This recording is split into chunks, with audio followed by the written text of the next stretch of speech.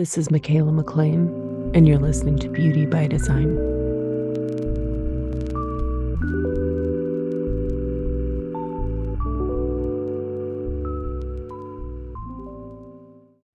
Hey guys, welcome back. Thanks for being here. We are about to talk about Gate 16. And before we do, I just want to let you know about all the things that I have going on right now.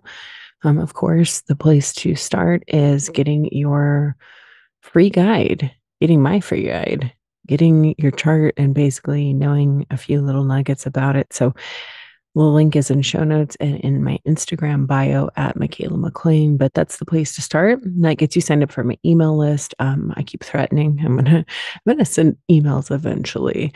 Um, but yeah, there's important stuff that's going to be coming soon, very exciting things. So if you want to stay in the loop, that is the way to get on the list. Number one and number two, it's the guide is beautiful. It's been redesigned.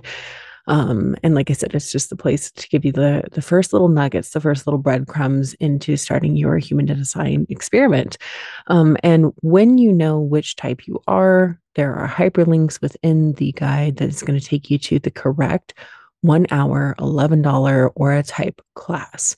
So, those classes, I can't stress enough, they really are the firm foundation. It is not a one slide um, Instagram post that's like, manifesting generators are this. It's like, no, that's not how this works. Get an education, you know. Um, again, can't stress that enough. Just invest the $11 you'll have it for good and you can always access it um, rewatch it revisit it. You're going to gain something new each time. So those classes take you through type strategy authority not self signature and deconditioning tips. So they are the foundation that you need to understand what we talk about here on the podcast um, and then everything going forward. And then from there you can take my course your energetic marketing guide um, aka Human Design 101. So this gets you all of those classes plus so much more. So if you really do want to learn, learn it.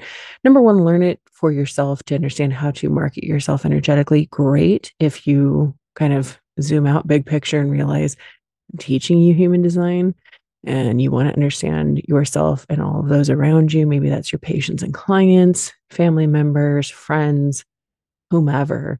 Um, this is really taking you through all of that. So you get all of those aura type classes. And then we get into the six lines, the profiles, the centers, the gates, the channels, the circuitry, um, incarnation cross. You know, we touch on all of that. So I use different language for that. I call it your brand pillars, but that's what it is, your incarnation cross. Um, and then how to kind of start to synthesize it all together. So good stuff. Um, and then aside from that, oh, and then also I would say aside from that, my yoga nidras, but there is a yoga nidra within that course as well as an exfoliation meditation. Those are great for you on a personal level, but also you can take them into your treatment room if you are in the treatment room. So lots there. Um, and then of course, so much more coming, so much more um i am on the precipice of that that new moon in taurus like really did something to me something really exciting. And i did a little something outside of my comfort zone. I'm just teasing it all like right now and i am i feel like i'm sitting on a golden egg in a really strange way um stuff that i've wanted for a long time and have been preparing for which actually is really in alignment with this episode that we're going to talk about but you know that that constant refinement and alignment um, and preparing yourself for opportunities. Yeah. So anyway more to come obviously. So many things to get ready for but yeah hop on that email list um, for for the day that comes. I finally send one. And like i said just stay in the loop. So Links are in the show notes, links over on Instagram at Mikaela MacLean. You can go give it a follow over there. And let's get into the episode. Okay, so my little disclaimer reminder don't try to understand this at the mental level. That is not where human design is meant to be lived, from. It is a very intellectual process. I will give you that. Um, I love it. I love studying all of that. But at the end of the day, it's meant to be lived in the body, in the cells. Okay. So let my voice, sound current, words that are chosen specifically, let it all sink into your cells like good skincare. Just relax and open your ears. You're going to understand what you need to know when you need to know it. You'll receive it when the time is right. Okay, so we are in Gemini season and we're moving into gate 16, which is located again in the throat. So we've got back-to-back throat gates during this this time period, this this time of the year. Um, and this one is part of the collective logic circuitry or the you know understanding um, the more yang cool-headed future focused, the one that plans ahead, that side of the chart. This is the side that likes repeatable patterns that you can experiment with to improve upon. It's the logical left brain. And I already mentioned refinement and alignment. Um, that is what this side of the collective circuitry is about versus the creative experiential flow of the collective abstract, the sensing side. However, this particular gate slash the channel that it is a part of is one of the creative channels in the chart. We'll talk a little bit about that as we go along. So, starting with the center, the throat is the energy center for communication, self expression, and manifestation.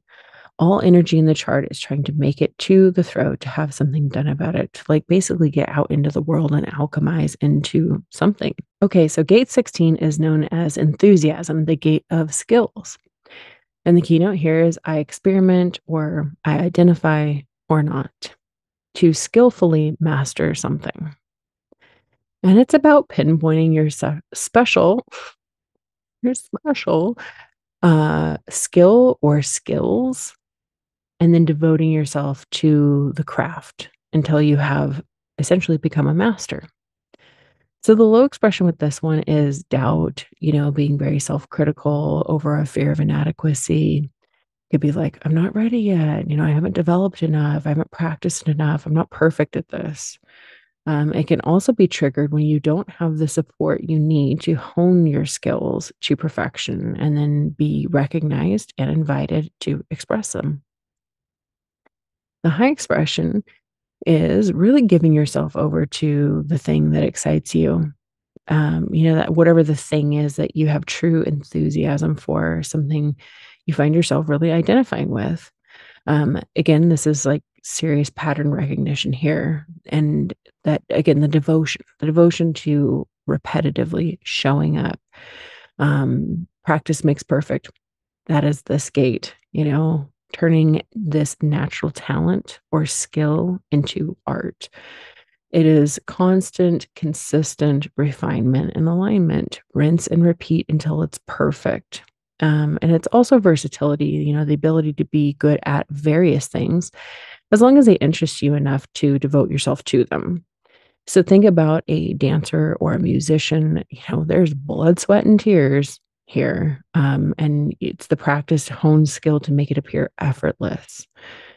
So um, I love the Bruce Lee quote I fear not the man who has practiced 10,000 kicks once, but I fear the man who has practiced one kick 10,000 times.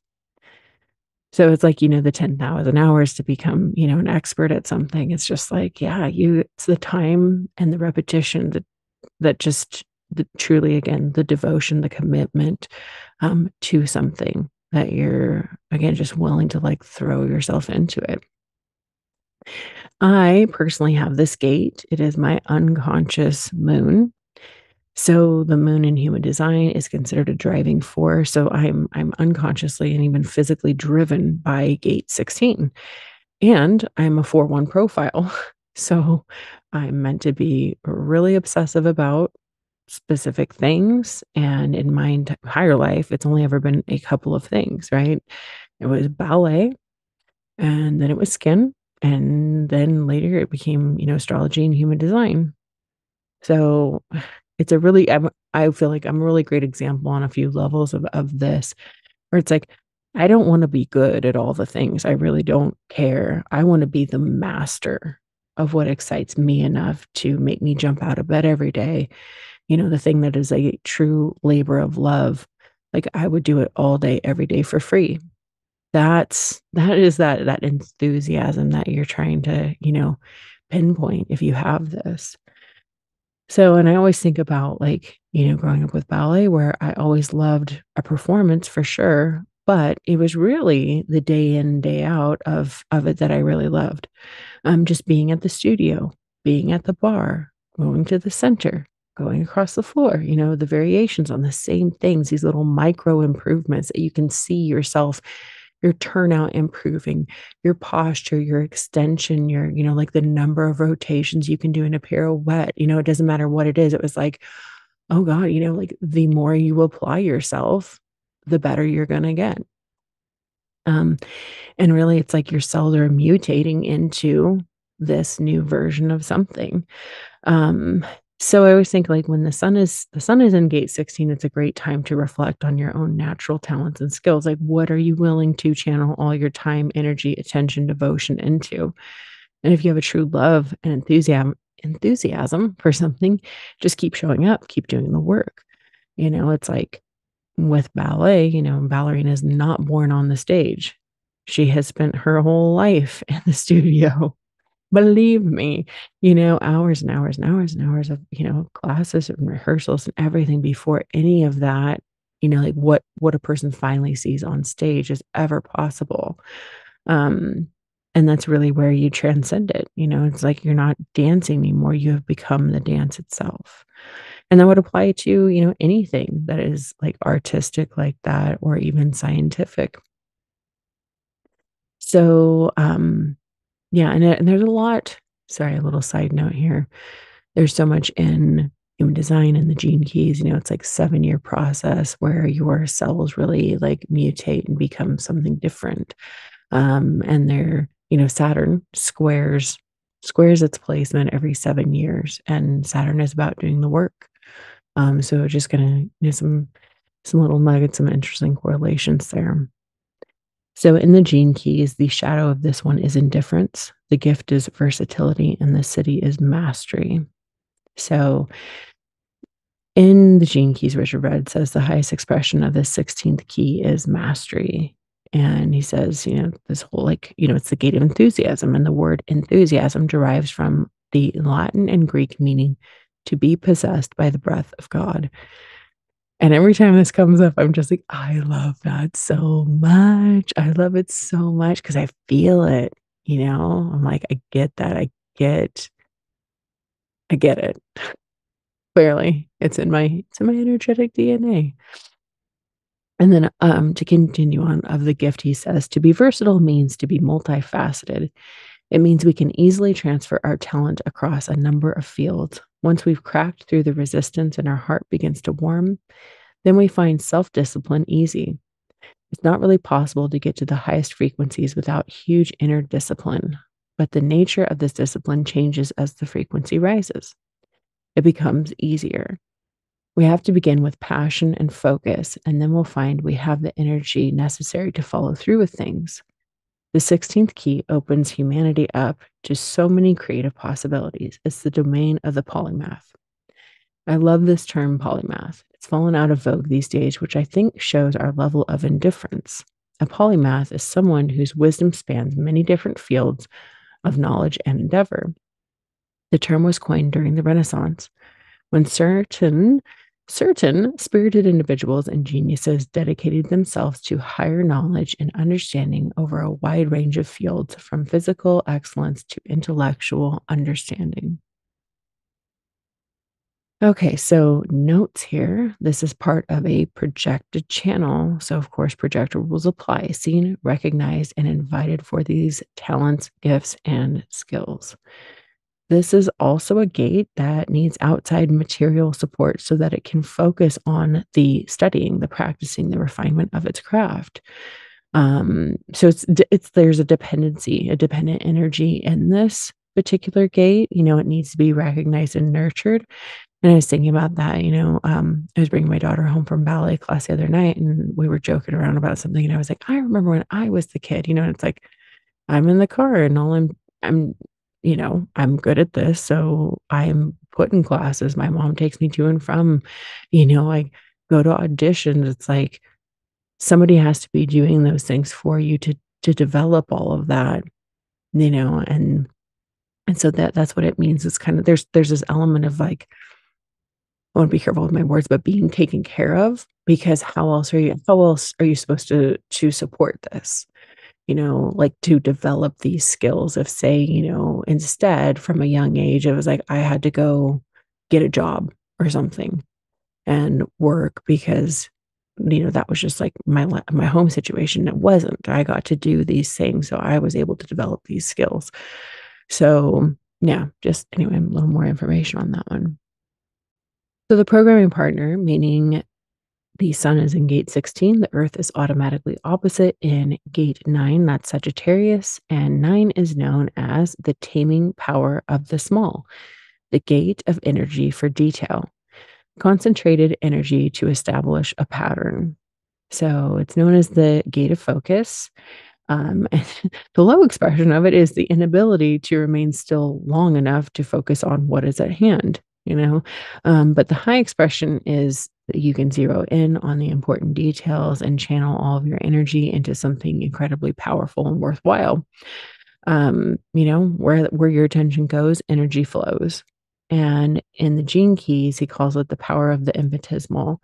Again um, little teeny tiny steps every day toward the goal. This is part of that same circuitry that we're talking about with gate 16 but they make an they make an interesting pair, you know, because this gate is definitely prone to distraction, trouble concentrating your energy. It's one that's associated with, you know, ADD, ADHD in theory, not diagnosing anybody, but if you have it, especially if it's hanging, it's like by itself, that can be potentially the case. Um, so yeah, like I said, they're just an interesting combination because it's like this ability to apply yourself and become a master, yet this difficulty, maybe zeroing in on the thing or the things, the skills that you want to develop to become the master at them. Okay, so then the gate that completes the channel is Libra Gate 48, forming the channel of the wavelength, a design of talent. And 48 is known as the well, it's the gate of depth. And so this one is, you know, it's a fear of inadequacy, it's a spleen gate, um, the awareness of a potential solution or not, fear that you don't have enough depth or are seeking depth to resolve the fear. So these are people that just, there's always this kind of like lacking feeling like they're not enough in all the potential ways that you could feel like you're not enough. Um, and specifically like you lack the skills right? Because 16 has the skills 48 has the depth.